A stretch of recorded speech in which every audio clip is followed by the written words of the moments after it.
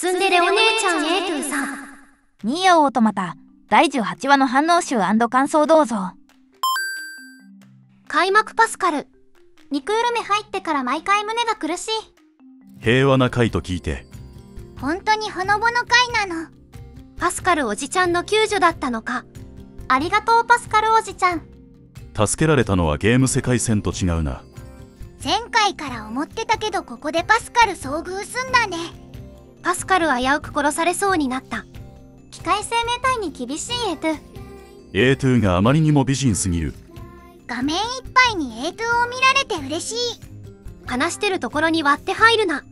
落ち引き海生命体可愛い。一匹連れて帰りたい。A2 にとってはこの状況はわけがわからないだろうな。前回があるので機械生命体に助けられてち、となってしまう A2 さんにも納得。ゲームより A2 さんの声イケボ。A2 と2号で完全に声を演じ分けてるのほんとすごい。A2 が活動していた頃にはまだ支援ユニットが配備されていなかったからわからないのか。A2 への随行は 2B からの最終命令だった。頭痛が痛いのか。2B のお願いを思い出して剣を収めた。そういうところ好きだよ A2 前回があったので A2 のキャラに深みを感じますね。なんだあのでっかいものやさぐれ A2 さん対 2B に頼まれたポット0423 A2 とポット042の最初のこのやりとり好きなんだよな。あの純粋な子がこんな狂犬になっちゃうなんて。前回でだいぶ抱えている過去が思いだけに複雑だよな。オープニング映像の理解が深まり辛さが増す仕組み。オープニング見るたびに 9S となるオタク。どうしてニーアシリーズには名曲ばかり集まるのか 2B 主役かと思いきや3人とも主役だとわかるようになる後半戦ロード画面が不穏。デボルポポル美人な二人だ。デボポポ、アングルがゲームと全部一緒。起きたらデボルポポル姉妹は眼福で幸せすぎる。バンカーがないから貴重な回復薬。9S はレジスタンスに助けられていた。9S 視点も並行するんだ。デボルはボワッと髪で左に鼻、ポポルはさらっと髪で右に鼻。償いね。あの谷底によく行って帰ってきたな。9エスパートもやっとデボポポの話進むんだよな。デボポポそんなスリットやばかったの。ちゃんとお礼言いなさいって、かっちゃんか。レジスタンスのみんなは無事みたい。記憶飛んでる。2B を思い出すと吐きそうになるほどトラウマが。存在しない吐き気。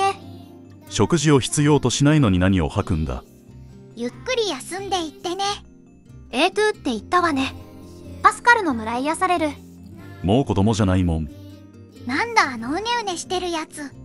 ミミズみたいなお友達ほんとくさ。サブクエのロボさんたちが勢ぞろいだ。閉じこもりロボ。おい引きこもりいるぞ。9S ハッキングだ。お母さんが引きこもってるんかよ。パスカルの村はずっと平和でいてくれアニメだと A29S 同時に動いてるの分かりやすくていいねバンカーのこと聞いてくれるのね A2 のバンカーを気にかけるセリフ追加。いいね。残った夜ハ部隊にはもう帰る場所がない。A2、ちゃんと汚れているところの評価点高い。姉妹ちゃんかわいい。デボポポの杖持っとる。リボンついた姉妹が揃って手を振ってるのやばい。何回数にされてる機械生命体がいる。妹ちゃん、旦那さんを尻に敷いとる。パスカルの村を見逃してあげる優しい A2。ボディめっちゃ汚れてるな。漫才来たポット。珍しくめちゃくちゃ喋るじゃん。ポットと漫才もこなす A2 ポットとのやりとりがめっちゃ面白いのよね。二人のやりとり好きだな。ツンキの A2 ちゃんの名言来たうるさい黙れ。いただきました。本作では極めて珍しいギャグシーンうるさい黙れをストップモーションでありがとう A2 の顔よ2と042の漫才もいいんですよね。この掛け合い、絶望的な状況の中唯一の癒しだ。機械生命体ちゃんたちかはいいな。パスカルの村だけ別次元としてこのまま保管してくれ。言わんこっちゃない行き倒れである。倒れる音が機械って感じ。9S がもういない。どいつもこいつもメンテナンスしねえな。ダイレクト水かけ。水攻めみたいなことをされてら。ベッドで水をかけるな。錆びるからやめろ。燃料用ろ過フィルター懐かしいな。なんなんだこの可愛いが溢れているシーンは。A2 のキャラクターがどんどん崩壊していく。A2 さん視点になると謎のギャグが増えるのが救いですわ。着火マン。それはカンカン。水攻めの次は火炙り。西暦1万1945年でも現役のチャッカマンすごすぎて草温めるのベクトルが違う。病気の治し方が違う。困惑。ダメっていうポットかわいい。へ。なんでメガネ入ってる？おまそのメガネ。お兄ちゃんのじゃいつの間にか機械生命体の村に回収されてたのか。なんかの拷問かな。この薬はいいんだ。困惑有害でないなら OK なんだな。冗談ですよ白真パスカルおじちゃん冗談きついぜ。A2 が押されてる。この平和がいつまで続くのか。ちゃんと塗装剥げてる感じが出てていい。水攻めの次には火攻め。毒薬のような薬攻めに合う A2 さんでした。は恐怖を教えた話。重たい。フラグにしか聞こえないよ恐怖の話もうすんのこんなのまきびしだろ。これはアニメでもパスカルイベント最後までやるつもりだな。恐怖は危機管理と相手を知ることには必要だと思うけど。A2 がパスカルに追い詰められている。赤面 A2 かわいすぎる。すでに優しいことを見抜かれている A2 さん。今日は A2 さんが可愛すぎて辛い。いいぞもっとやれ。動けないことをいいことに言いたい放題やな。パスカル見た目以外は完全に人間ですなツンツンからツンデレに進化した。すっかりクールビューティーの化けの皮剥がれてきた A2 スコ A2 の可愛さが世界中にバレる。声はやさぶれてるけど根は変わってないな。どれだけ時間経ってもやっぱり2号なんだよな。A2 さんの描写神が買ってるな。最高に可愛い。自覚がないのは困るなコットよ。やっぱポット042の A2 への舐めた対応好きだわ本当に信じられないぐらい今回は平和な回だな。今日はこのままほのぼので終わるのだろうか。ゲーム特有の少し雑な部分をアニメで補えるのいいな。子連れ狼来た手押し車で運ばれる A2 運ばれてるの超可愛い。完全におもちゃにされてないですかこれ。子供たちに A2 がされるがままなの。最高か A2 と042とパスカル村の住民たちの日常会ずっと見てたい。もうこのままパスカル村で暮らそうぜ。機械生命体への憎悪が順調にそぎ落とされていくな。滑り台がすでにできている。子供ロボの声めちゃ人間味ある。あのオルゴール直したんだね。ちゃんとみんなで聞くようにしたのね。偉いぞ。お母さん出てきた。妹ちゃんそろそろどいてあげな滑り台もオルゴールも 2B たちが残したものなんだよな。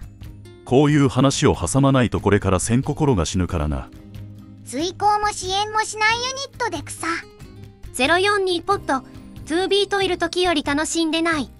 地雷ワード家族。その言葉はやめろ。A2 に聞く。家族を失ったのがトラウマになっているから。泣き始めちゃった。ゴロゴロゴロゴロ横を太郎ローリングする機械生命体の子供。楽しいぞボ A2 さん白真の演技。棒読み A2 ちゃん超可愛いんだが。アニメから入った人びっくりだろこれ。お茶目でいいやつすぎるだろ A2 棒読みだけど泣き止ませようとするところほんと優しいよな。孤独の寂しさがわからないのか。一人じゃないって素敵なことですよ A2 が家族を大事にって言うとほんと心にくる。実感こもってるな。A2 が言うと言葉の重みが違うな。お姉ちゃん認定されている。お姉ちゃんになった A2 ゲームより A2 の扱いなんか軽くて草。A2 こんなに感情豊かだったのね。リリー来た。リリーとここで再会。リリーさんがこっちに来るのか。A2 とリリーが再会するって思わなかった熱いな。そうだ。A2 はリリーの記憶はあるんだもんな。リリーと A2 が出会う世界線アニメありだと。墓参りっすか？破壊イベントやってくれるのか。弔いの話来たか。このサブクエもあるのかよ。きつい。あれこの花畑ってあの機械生命体たちが作ったやつか。機械に早々の概念が受け継がれていく。サブクエの拾い方がうますぎる死んでないもん。まだ受け入れられてないんだよね。死んだって認めたくないよな。このお兄さんアンドロイド怒らずに理解してくれるの優しい。真似事でも仲間を弔う気持ちがあるのは優しさの証拠ですよ。A2 がレジスタンスキャンプに来るの。うわ。すっごいニアミス。ちょうど入れ違いだったのか。危ねえ。レジスタンスキャンプで 9S と鉢合わせるところだったレジスタンスまで乳母車で来たのかな。リリーと A2 やっと会えたんだね。大切な仲間に会えてよかったね。ワイルドだろずいぶん英知になったね。確かにあの時に比べたらワイルドだよな。あの地獄を経験すれば雰囲気も変わるよね。A2 の駆動系むき出しなデザイン。いい。まあ A2 さんすっぱだかだからね。お互い雰囲気が変わった同士だね。二人の会話たまんね互いに結婚して子供ができた後に久々に会ったような会話だ。お互い積み重ねた時間が重いね。燃料フィルターはパスカルの村によって作られたんかい。これ 9S が戻ってきたら鉢合わせするのでは。照れてるのかわい。い赤面 A2 さんいっぱい見れて最高。なんか今回 A2 さんのらしからぬ表情が満載だな。たまーに2号時代の顔が戻ってくるのいいよね。で別に仲良くなったわけじゃないんだからね。2号呼びしてくれる人がいる喜び。アネモネさんは A2 呼びしてたけどリリーちゃんは2号さんって呼んでるのいい。二人とも変わったけど変わってないね。再会できてよかったね。本当に。9S の方は重症やな。空回りしてしまっている。穏やかな A2 との対比がきつい。9S くん 9S パートはひたすらしんどいね。9S くん闇落ちしちゃった。アベンジャー溶かしてしまった。機械生命体絶対殺すマンの誕生。9S がどんどん暗黒面に落ちてゆえつ。もう戻れない道を進むのね。シーズン2の平和会が終わってしまった。A2 があまりにも可愛い1話でした。9S の劇場やばいね。しっかり刃を交えそう。本編来たパスカルおじさんによる癒し人形劇田浦隆久くんからの質問はがき。いい子からのお手紙だ。唐沢直樹咲生が抑制は意味深。になってたビニボン販売機。大事なセーブポイントだもんね。もう自販で買う必要はないんだ。ないんだよ。アニメだと使い道はないしな。アクセスポイント。なんだ今の一枚絵。急に美しいイラストが。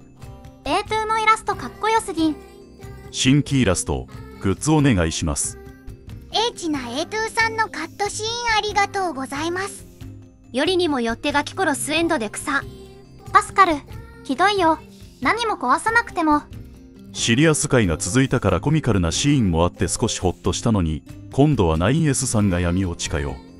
A2 は安らぎを知り 9S は戦いの道に行くのか今までと逆の立場になっちまったなクールな復讐者と見せかけたツンデレポンコツお姉さんな A2 好き A2 のいろいろな表情を見れて最高だった。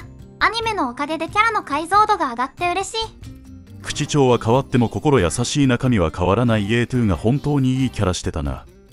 A2 にわずか数話で愛着を持たせることができるのかなりすごい。機械生命体との交流がこうも面白くなるとは。A2 のボディだいぶまだらに汚れてんな。恐怖の教育やらオープニングの巨大ロボ対決やらでこの先の展開が楽しみですね。9S はゲームだと最初はもっと淡々としてて徐々に絶望に染まってく感じだったけどいきなり闇落ちしてたな。アニメの 9S くんは A2 の過去なんか全く知ったこっちゃねえからゲームよりゾーンがマシマシになってるね。